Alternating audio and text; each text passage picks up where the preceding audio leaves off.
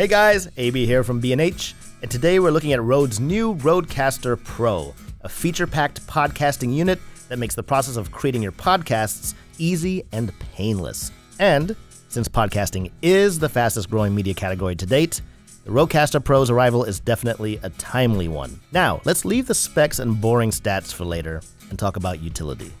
I think that one of the most important takeaways is that the Rodecaster Pro is a standalone unit and that's key because it means that you don't have to buy a whole bunch of other gear just to get your podcasts going.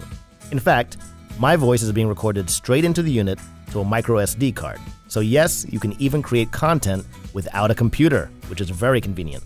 I know that this next bit of information is obvious, but an additional piece of gear you will need, if you don't already own one, is a microphone. Preferably a good dynamic mic or a condenser mic, like this Rode NT1. You can pretty much use any brand or model mic you prefer, because the Rodecaster has general settings for both condenser and dynamic mics.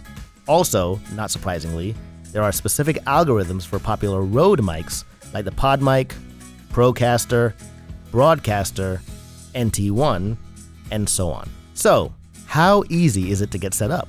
Well, on the back of the unit, there are four high quality Class A mic pre's with XLR inputs. So you just plug your mic into your input of choice and you're ready to tweak your setup in the menu system. This process is really easy because the inputs on the back correspond to the first four faders on the top panel. So since I'm plugged into mic input 1, I simply press the blue number 1 button above the first fader, and I immediately enter a page with options for that channel setup. I chose Rode NT1, which again is the model I'm using. Then I move to the next screen, which is called Setup.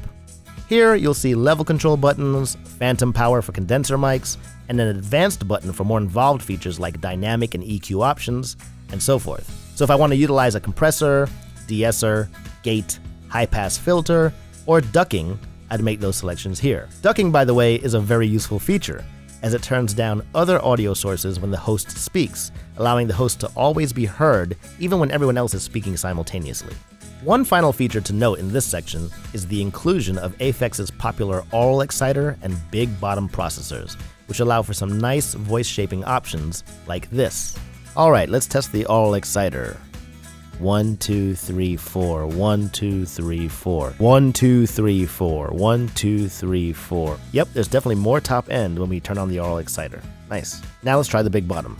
Hello, hello, hello, hello, hello, hello, hello, hello. Wow yep, instant low end, um, you know, a little bit boomier, definitely fattens out the voice. And as we talk and remove it, we can see that now we're back to a, a less bassy uh, piece of audio. Very cool. Once we exit the setup screen, we have the final option of voice, which is simply a collection of voice tones and strengths that you can try to match your voice to. Obviously, you should go with whichever combination you feel sounds best for you. Now, let's talk about headphone monitoring which Rode has made very convenient and flexible. Since there are four mic inputs, the Rodecaster Pro naturally features four high-powered headphone outputs, each with individual volume control to allow each guest to monitor audio comfortably during the recording of the podcast. To demonstrate the effectiveness of independent volume control, I have brought my friend and colleague Phil from the Pro Audio writing team. Phil, what's going on? Just chilling, AB. How you doing? I'm good. I'm good. I know you're a pro audio writer, but why don't you tell the people what else you do or have done in your illustrious career? Well, outside of B&H, I have spent a lot of time teaching uh, audio operations uh, for you know software and hardware, plus mixing and recording for independent artists uh, and signed artists too. Very sweet. That's what I'm talking about. Well, obviously, Phil is qualified to help me with this very simple task. So what we're going to do is just simply check whether or not you can hear yourself. How's the level right now? I mean, it might be good for you but it's not good for me. Oh, that's not good. Well, that's kind of what I wanted to hear because that allows me to do something. Uh, more. I'm going to raise this number two knob since it corresponds to your mic going into input two. And is that getting any better? That's perfect right there. Yeah. That's what I'm talking about. Well, thank you for helping me with that very simple demonstration. And uh, I really appreciate your time. Well, thank you.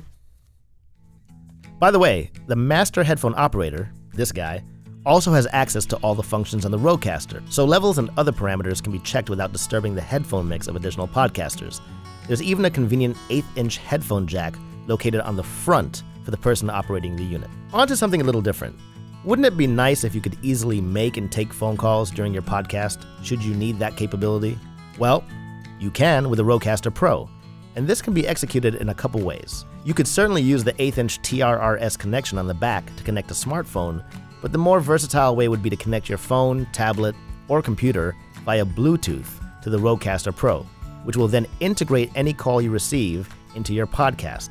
In fact, I'm going to have my friend and colleague Matt call me now via FaceTime audio to demonstrate this process. Here we go.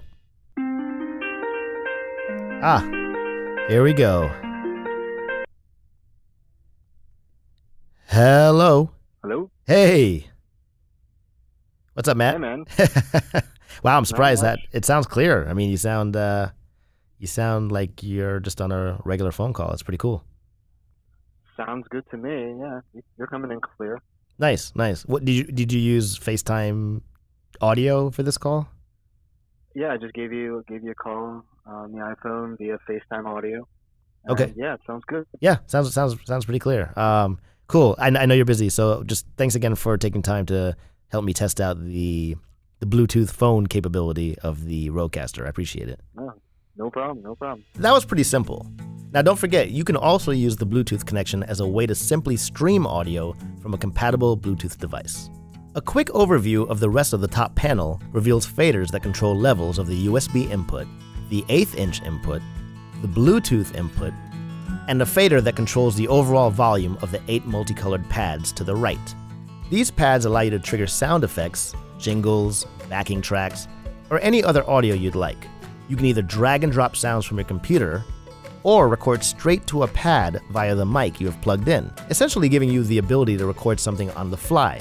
Check it out.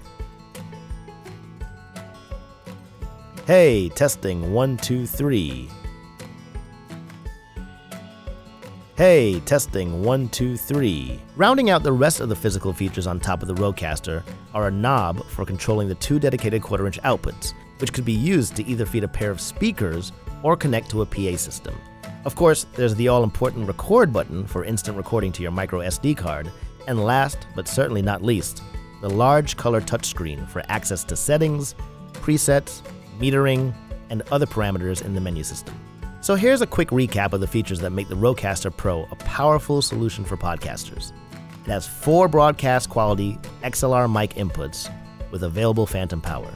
It can handle phone calls. There are eight programmable pads for instant sound effects, eight faders to control audio levels, four headphone outputs with individual controls for the host and guests, Aphex processing for rich and warm voice textures, Bluetooth and cable connectivity, onboard recording, and USB connectivity that allows the Rodecaster to function as an audio interface for streaming, recording, and other applications. Well, that's it for the video, so thanks for watching. If you'd like more info on the Rodecaster, check out bhphoto.com, and don't forget to subscribe. This is AB, and I'll see you next time.